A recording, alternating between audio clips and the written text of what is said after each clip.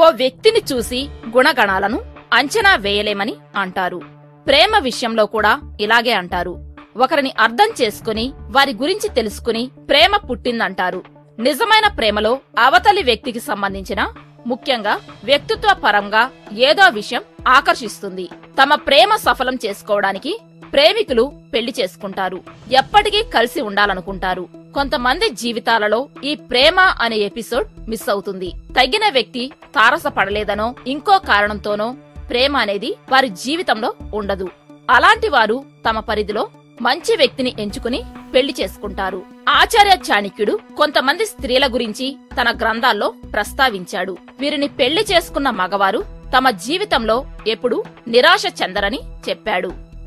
మిమ్మల్ని ప్రేమించే స్త్రీ తనను ప్రేమించే స్త్రీని ఏ పురుషుడు దూరం చేసుకోకూడదని చాణక్యుడు సూచిస్తాడు. వివాహ జీవితంలో ఎన్ని ఒడిదుడుగులు ఎదురైనా అలాంటి స్త్రీ మీ వెన్నంటే ఉంటుంది. ఆమె వల్ల కుటుంబ ఉన్నతి జరుగుతుంది. వేరే ఎవర్ని పెళ్ళి చేసుకోవాలనుకోని స్త్రీ. వేరే పురుషుడితోనూ ప్రేమలో లేని స్త్రీని మాత్రమే వివాహం చేసుకోవాలని సూచించాడు చాణక్యుడు. బలవంతంగా ఏ స్త్రీనైనా వివాహం చేసుకున్నా ఆమె మనసు తను ప్రేమించిన మగవాడితోనే ఉంటుందని వివరించాడు. సంపూర్ణమైన మనసుతో భర్తతో అటువంటి స్త్రీ జీవించలేదని చెప్పాడు. మీ రూపం కంటే స్వభావాన్నే ఇష్టపడే స్త్రీ. మీరెంత అందగాళ్ళైనా కానివ్వండి. ఆ రూపాన్ని చూసి కాకుండా వ్యక్తిత్వాన్ని ప్రవర్తన స్వభావాన్ని చూసి ఇష్టపడే స్త్రీని పెళ్ళి చేసుకోమని అలాంటి స్త్రీ మీ వృద్ధాప్యంలోనూ ప్రేమను పంచగలదై ఉంటుందని చెప్పాడు. మీలో తన తండ్రిని చూడగలిగే స్త్రీ.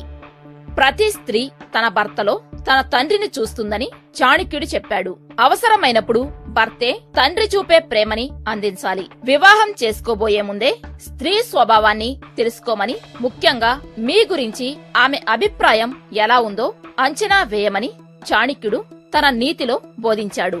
ఫ్రెండ్స్ మరో తెలుగు ఇంట్రెస్టింగ్ ఫ్యాక్ట్స్ వీడియోతో మళ్ళీ కలుద్దాం. ఈ వీడియోని లైక్ చేయడం మీ ఫ్రెండ్స్కి షేర్ చేయడం మర్చిపోకండి. Thank you for watching